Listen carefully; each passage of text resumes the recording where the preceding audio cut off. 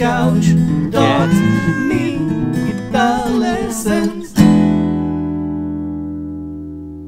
Hey there, Lick and Riffers, and welcome back to yet another awesome fingerstyle lesson here on Lick and Riff, in which I'm going to show you and teach you yet another awesome Justin Townes Earle picking pattern.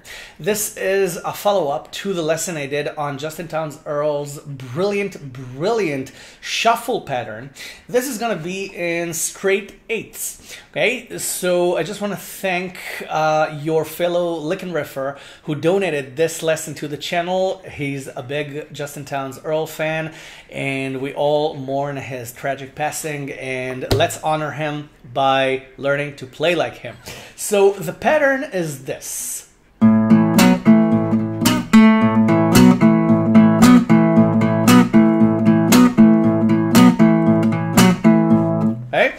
It's easier than the previous one. It's easier than the shuffle pattern. Um, so this is a pretty fixed pattern.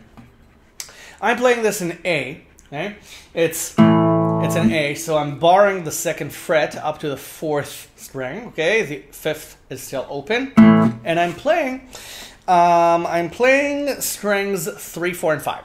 Okay, three, four, and five. Okay, so I'm playing the bass first, then I'm playing the chord. Okay, so I'm playing the fifth with my thumb, and then I'm playing strings three and four. Okay, now you can also uh, use one finger and just okay strum upwards with one of your fingers.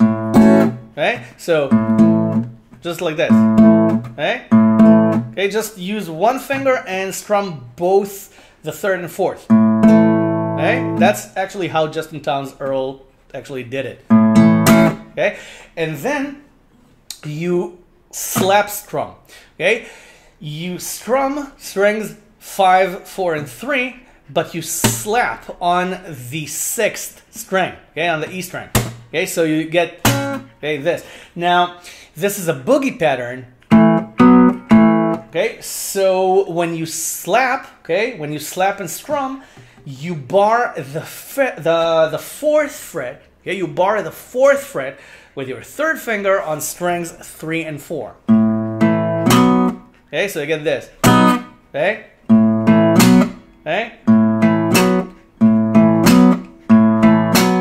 and then you just strum upwards again on the second fret on A, or you pick strings three and four.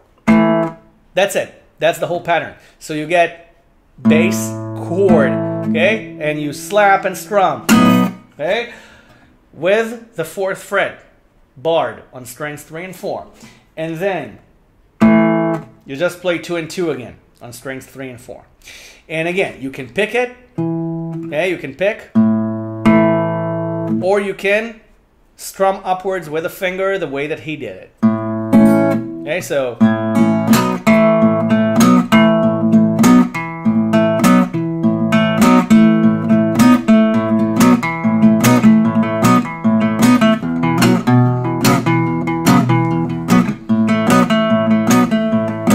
Okay, you can do it on E as well. Okay, you just do the same thing on E, okay, on the three bass string.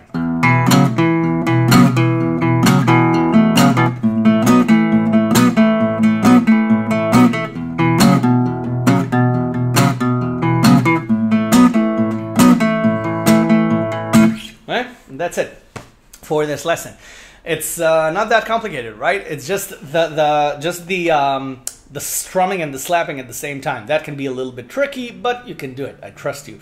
Uh, if you don't get used to it, I have several lessons on mastering slapping. Okay, so search for Lick and Riff slapping, and you'll find all the lessons on slapping.